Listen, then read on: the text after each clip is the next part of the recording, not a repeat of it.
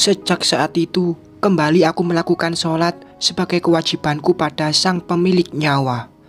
Lama sudah aku berpaling darinya, hingga aku benar-benar kehilangan arah dan tujuan hidup yang sebenarnya. Sehabis sholat subuh, aku mulai berselancar di dunia maya. Kulihat satu persatu postingan lowongan pekerjaan di grup-grup para pencari kerja. Aku scroll sampai bawah setiap lowongan kerja yang diposting hingga satu postingan menarik perhatianku. Ya, apalagi kalau bukan lowongan terapis sepa lagi. Dibuka kembali lowongan kerja di bidang jasa sepa. Dibutuhkan terapis cewek, gaji menarik, dapat tempat tinggal di mes. Jika berminat, bisa langsung kontak dengan antusias, segera aku hubungi nomor tersebut. Aku berharap ini bakal menjadi rezekiku.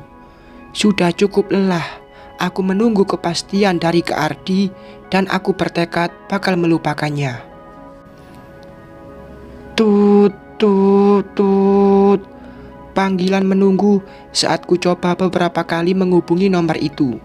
Hati ini sedikit resah, takut juga jika tempat spa itu sudah tak butuh terapis lagi. Coba lagi ah, siapa tahu masih rezekiku. Batinku bermonolog. Kembali ku tekan angka-angka yang tertera dalam postingan.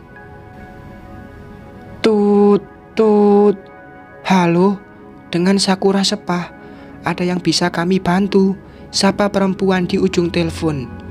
Iya kakak, maaf ya, saya lihat ada postingan lowongan kerjaan di tempat kakak. Apa masih ada ya? Tanyaku penuh harap. Oh, lowongannya masih kak. Maaf, dengan siapa dan di mana ini? Tanyanya dengan nada cukup ramah padaku.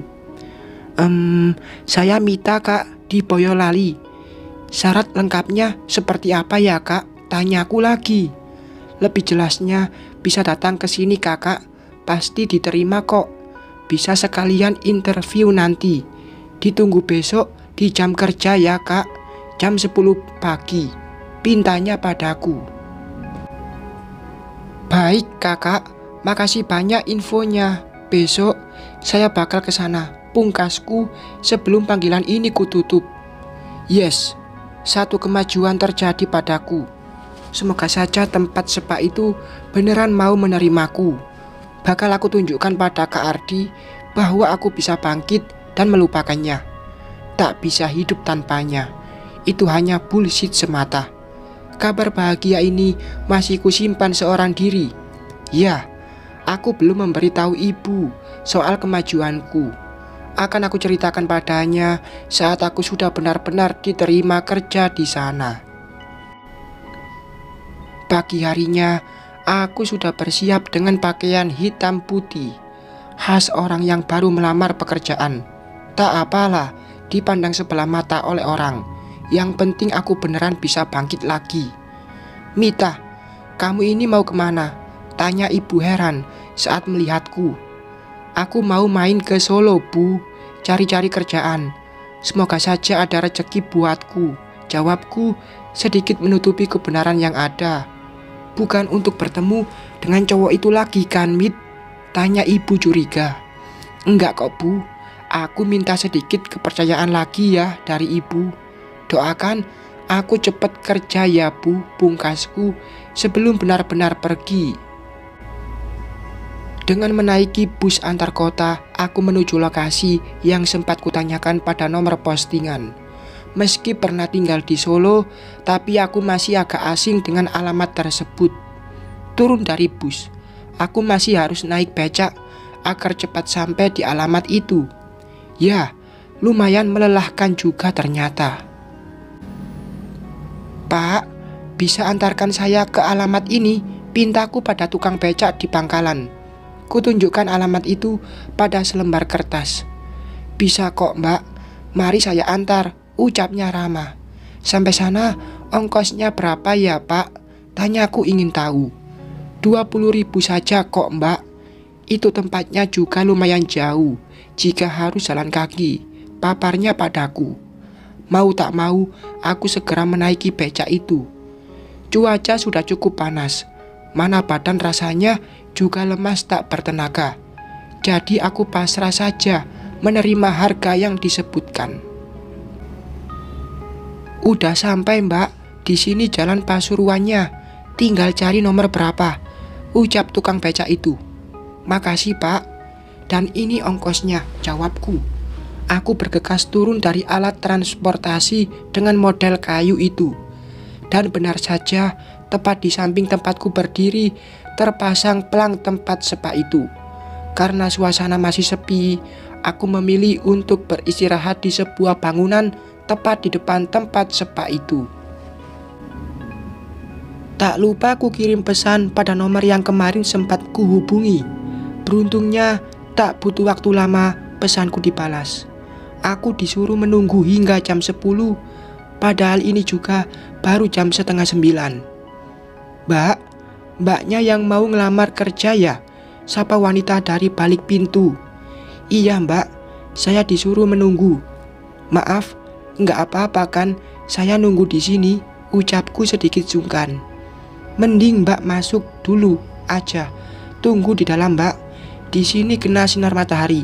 Panas, kasihan Ucap wanita itu tersenyum ramah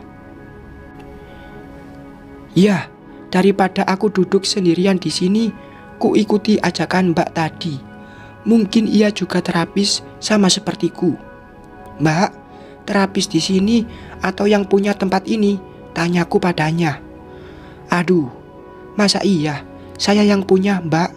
Aku terapis di sini juga kok, Mbak. Mbaknya namanya siapa? Tanya wanita itu ramah. Saya Mita, Mbak. Dan mbaknya sendiri siapa? Salam kenal ya, Mbak. Ucapku kemudian. Saya Lilis, Mbak. Dengar-dengar mbaknya dari Boyolali ya. Berarti bakal nginep di mes dong, Mbak. Jadi temanku di sini. Ucap Lilis antusias. Aduh mbak, aku belum mengerti juga. Kan juga belum pasti aku diterima kerja di sini. Ucapku sedikit minder. Udah pasti diterima kok mbak biasanya. Sini juga lagi butuh banget terapis. Mudah-mudahan saja beneran langsung diterima mbak. Ucap Lilis dan langsung ku amini. Lilis mengajakku melihat setiap ruangan yang ada di tempat spa ini. Ruangannya tertutup malahan seperti spa di hotel-hotel. Wanita ini juga mengajakku ke mes tempat dia tidur. Di belakangnya juga ada dapur kecil yang bisa untuk memasak para terapis. Mbak, maaf ya, tempatnya kan tertutup kayak begini. Ini bukan spa plus-plus kan? Tanyaku memastikan. Takut juga membayangkannya saja. Bukan kok mbak, percaya deh sama saya. Kalau ini tempat plus-plus, saya juga mana mau. Ucapnya meyakinkan. Kriet. Tak berselang lama, perempuan bertubuh tambun masuk. Ia tersenyum ramah padaku. Baru ku ketahui jika dialah SPV di tempat ini. Dengannya aku diberi berbagai pertanyaan soal pekerjaan ini. Bahkan, aku juga sempat diberi quality control untuk mengetahui seberapa besar kemampuanku soal sepah. Setelah interview dan quality control selesai, harap-harap aku cemas. Aku menunggu keputusan SPV itu. Semoga saja aku diterima, karena harapanku begitu besar di tempat ini. Mbak Mita, kita ke depan lagi yuk, aja SPV itu. Ku tahu namanya Anjar. Iya mbak, ucapku antusias. Ku ikuti wanita bertubuh tambun yang juga sebagai SPV ke ruangan resepsionis. Di sana ternyata juga ada Mbak Enda, terapis di sini juga. Mbak Mita, kamu saya terima kerja di sini. Jadi, mau mulai kapan kerja? Sekarang atau besok? Tawar Mbak Anjar padaku. Mbak beneran kan? Saya boleh tinggal di mes. Kalau boleh, saya pulang dulu Besok baru mulai kerja, ucapku penuh harap. Ya bener dong mbak, ada mbak Lilis juga yang tidur di sini. Paparnya begitu ramah padaku. Ya sudah mbak, saya pamit dulu ya kalau begitu, pungkasku kemudian. Iya mbak Mita, hati-hati di jalan ya. Ingat, Besok kita mulai open jam 10 pagi. Balas Mbak Anjar. Aku bergegas keluar dari tempat spa yang sangat bagus itu. Tentu saja aku kembali menggunakan jasa becak yang bakal membawaku ke halte bus. Hanya butuh waktu kurang dari dua jam saja, aku sudah sampai di rumah. Ibu, tentu saja ia menyambutku dengan banyak pertanyaan. Sepertinya ini jadi waktu yang paling tepat untuk aku menyampaikan kabar gembira ini pada ibu. Aku yakin ibu pasti juga akan terkejut jika tahu esok hari aku bisa langsung kerja. Assalamualaikum, Bu. Aku pulang, ucapku di ambang pintu. Waalaikumsalam Mita Kamu ini ke mana saja? Ibu kepikiran terus dari tadi. Habisnya kamu udah lama enggak pergi. Eh giliran pergi lama banget. Tutur ibu haru. Iya bu. Kan tadi pagi Mita juga udah pamit sama ibu. Mulai besok aku udah kerja bu. Aku juga akan kembali tinggal di mes. Jawabku antusias. Serius Mita, Kerja di tempat apa?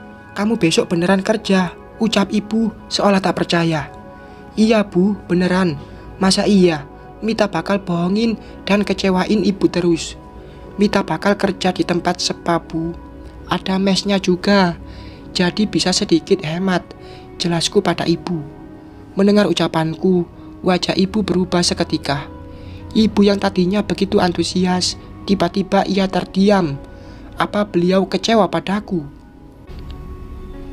Bu, ibu ini kenapa? Apa ibu nggak suka Mita diterima kerja? Tanyaku hati-hati. Mita, ibu bukannya nggak seneng kamu keterima kerja. Tapi apa nggak ada kerjaan lain? Ibu takut seperti dulu lagi. Papar ibu padaku. Bu, percaya sama Mita. Aku bakal melupakan kejadian terburuk itu. Aku bakal kerja dengan benar bu, ucapku meyakinkan. Ya sudah, ibu beri kamu kepercayaan, tapi jangan pernah kamu hianati lagi kepercayaan ibu. Pungkas ibu mengalah. Aku sebenarnya tahu kekhawatiran ibu, tapi mau bagaimana lagi? Aku saat ini hanya memiliki latar belakang di dunia sepah, dan saat ini ada pekerjaan bagus untukku. Semoga saja kejadian buruk itu tak menimpa aku lagi. Malam harinya, aku sudah mulai berkemas, ku tata beberapa potong baju, tak ketinggalan juga perlengkapan make upku. Ya, meski bagaimanapun juga di dunia jasa, harus bisa jaga penampilan. Mita, kamu mau ibu buatkan bekal apa untuk besok? Tanya ibu padaku. Enggak usah repot-repot bawa bekal, Bu. Aku ini kan mau kerja, bukannya pergi piknik. Bekali aku dengan doa dari ibu saja. Pasti diijabah. Ucapku memohon. Beneran nih, kalau hanya doa saja, tanpa kamu minta, pasti ibu doakan mit. Uang enggak mau, tawarnya menggodaku. Ya jelas enggak nolak dong bu, candaku padanya. Ya sudah, kamu buruan tidur. Jangan lupa doa yang baik-baik.